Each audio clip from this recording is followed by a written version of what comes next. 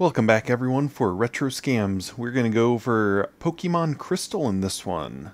We will go over Silver and Gold in different videos, but we're going to start with Crystal for this generation.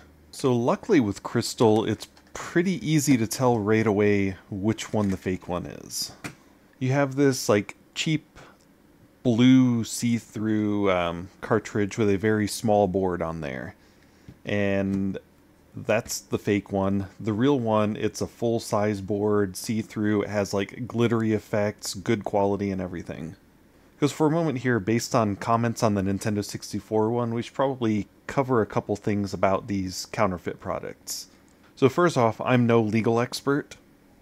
So, what I say is not legal advice. Um, I just Googled some stuff and tried to figure a few things out, but these counterfeit games it is illegal to traffic them. So, like producing them, transporting them, selling them, that is illegal. So, like anyone selling them on eBay, selling them on Facebook Marketplace, they're actually breaking federal law by doing that. So, purchasing one of these games, if it's for your own personal use, seems to be an area where it's okay to knowingly purchase a counterfeit item. Now, one area that I haven't been able to find, I know there's different laws pertaining like IP and copyright and all that kind of stuff. So I don't know if any of those other laws will cause differences for what's allowed and what's not. But just know that as far as the counterfeit laws that are out there are definitely if you produce, sell, or transport these, then that is illegal. And the way people get away with this is they'll have like in China or other countries, people will make these, and of course they have no quality control. That's why, for the most part, quality of the reproductions is garbage. Uh, you can play the game. There's a chance you can save. A lot of times the save games will corrupt it. In some of the Pokemon games, you can't get past the Elite Four. So, I mean, there's just different things that can happen with the game where it's not exactly how you want it if you're getting the reproduction. But then the other issue you run into is Pokemon Crystal, you get a legit version of it. It's like 120 $130. This little uh, garbage counterfeit is about $4. So it's one of the things where $4 you can play a game, there's a chance you can play the full thing and you're saving quite a bit of money compared to the real one. And I know that's where a lot of the debate comes for in the comments and just online in general. And then the other thing that the um, like the customs and border patrol, all of them, what they talk about is when you're buying these counterfeit products, there's a chance that they may be using like child labor or like bad working conditions, even like other type of illegal criminal activity, well, other than illegally making these games, there's other criminal activities they could be involved in to get everything done for these. So the boring part out of the way, how about the fun part? So when we're comparing the outsides of these, as normal, the real one is going to have a little stamp on it with a number, which this one has the number 19 stamped on it. It could be a different number for whatever version of Pokemon Crystal you're looking at, but yeah, this one has a 19. The fake one does not have any numbers stamped on it. And I mentioned in other ones, I don't really get into labels that much, but uh, if you really need to compare a label, you can go to pricecharting.com and actually look up what's on the label just to get an idea of what it's supposed to look like because a lot of times the coloring will be off on there. Looks like Pokemon Crystal's label, the legit one, has a lot more of like a silvery shine to it, and then the fake one has a lot more of a blue shine to it. Can't really show it that well on the camera, I don't think, but you may be able to see that. And then the top part here, it's Game Boy Color, and it's sticking out on there. And for the fake one, it says Nintendo Game Boy and it's indented on there.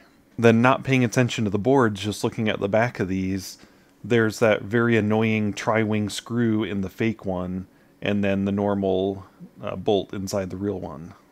And it's a little tougher to tell because these are see through cartridges, but the fake one on the top has that one gap in there where you can actually see like all the circuit board and everything uh, directly through there. It doesn't have a full seal across there.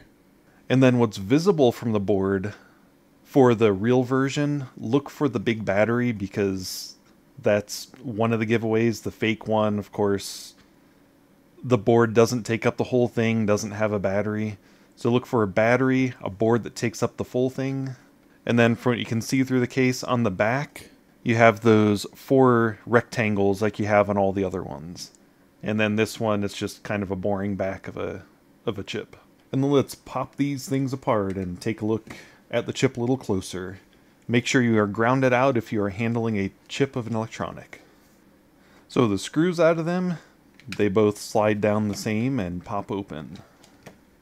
So we'll take a look at the fake one really fast. It's just that small board, doesn't really have much to it because it's using uh, flash storage for storing the ROM on there.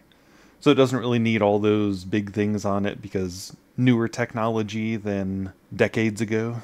So I mean, even though it is fake, it is still amazing. Like the technology that goes into this, that's still pretty cool about how this is able to be built and the game stored on it that was made such a long time ago. And then the real one has that nice big battery on it. And then since this was made for Game Boy Color, it's going to be a little bit different than the other Game Boy ones. If you look on there, CGB Byte. And then I'm not sure if this is zooming in well enough on it, but that top chip has CGB Byte on it also. And then that's it for the front of the board, so then on the back of the board, definitely look for Nintendo and those four rectangles there. And this is something funny, that's actually an aftermarket battery on there. These are supposed to have the CR2025s, but that's a CR2032 on there which doesn't really make a difference. It's going to work the same. It's just someone at some point changed the battery on this one. So now the fun part, we get to test them out. We have the real one in the Super Game Boy and the fake one in the Game Boy Color. And Super Game Boy should behave a certain way based on it being a Game Boy Color game. Okay, so yeah, we got the correct message for the real one with the Game Boy Color, that the uh, Super Game Boy wasn't actually made for using Game Boy Color games. So let's see if we get the same result for the fake one inside the Super Game Boy. And then the real one in the Game Boy Color.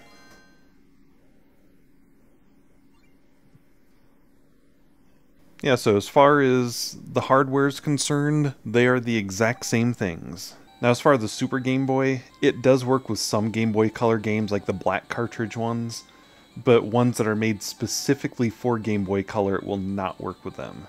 But as always, I'm sure there are some exceptions.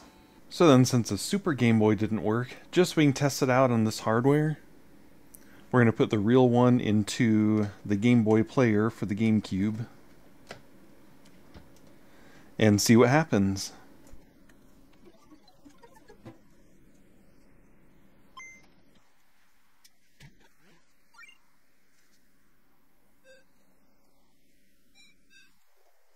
So there we go, looks like the real one loads up just fine in there.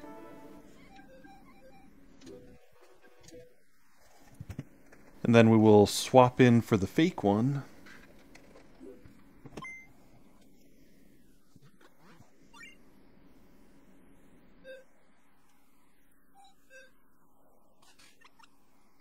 So as far as this hardware is concerned also, it's the exact same game. So I hope this was helpful to you in determining which ones are real, which ones are fake. Also, just remember I am not a legal expert, so that the uh, legal information I shared in the beginning may or may not be fully accurate. It is uh, just what I found by doing some quick Googling about the uh, whole topic.